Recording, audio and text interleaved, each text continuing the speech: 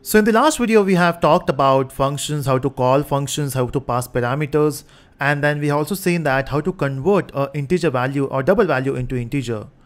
Now in this, we'll talk about something which we normally use in Java. Now if you, are, if you have learned Java before or if you have worked on it, you might be knowing about parseInt, right? Which converts your string value into integer. So normally we use a concept of integer.parseInt. Now how can we use that here? Example, if I create a string variable here, if I say string str and I mean, if I say var str colon string, and if I have a value which is 4. Now as we know that 4 is an integer but then when the, the moment I enclose that in double quotes it becomes a string right in the same way uh, we that's why we are mentioning string here.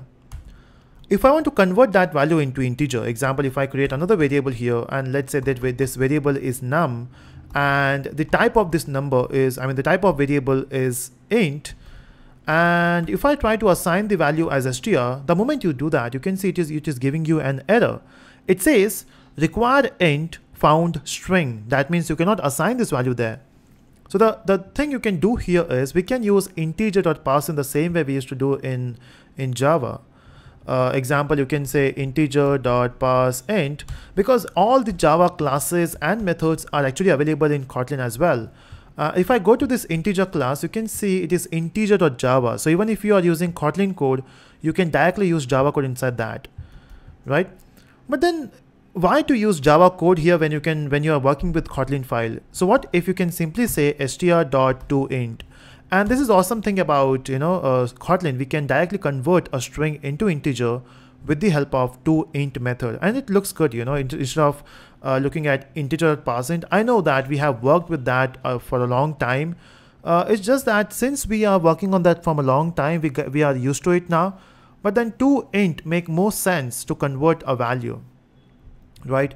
Now let's try, let's see if it is working. So I will apply some operation here. I will say num plus plus the way we do in normal Java, we are using uh, we are incrementing it, right? You know, I have this habit of putting semicolon at the end in Java code, so it is getting here as well.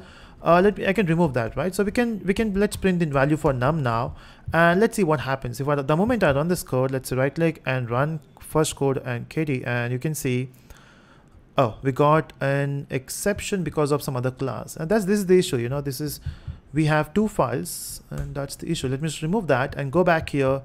Let's run this once again. I hope it worked this time. And okay I should run this way so first code run and you can see we got the output which is 5 right so we got the output as 5 here Okay, that's great. That means we can convert a string value if it is a it, it has an integer number in that and you can convert that into toInt. But let's try to understand what is happening behind the scene. So if I click on this toInt, uh, you can do that by pressing on control and click. Uh, if you're using Windows machine, if you're using Mac, you have to press command and click.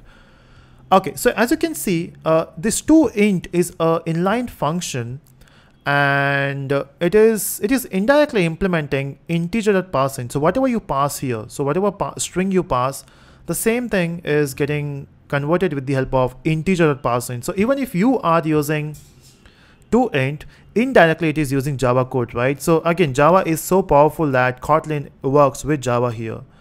So yeah, that's how you convert. But what if the, the what if you say 4a and the moment you do that because now 4a is not a normal integer, right? How can you convert that? The moment you run this code, you will get some bad words from your compiler and it says uh, not from the compiler but then uh, you will get a runtime exception which is number format exception again if you are familiar with java this is the this is the type of exception you get when you try to convert a string into integer which which, which cannot convert example 4a, how can you convert 4a into integer, right? That's the issue here. And that's why we got number format exception. So how to how to handle exceptions in Java? Do we have any other way? I mean, sorry, in Kotlin. Can we use Java exceptions in Kotlin? How to do that, that we'll see in the next video. In this video, we have talked about how to convert a string into integer. We can use to, to int method or we can go with the legacy one, which is integer.parseInt.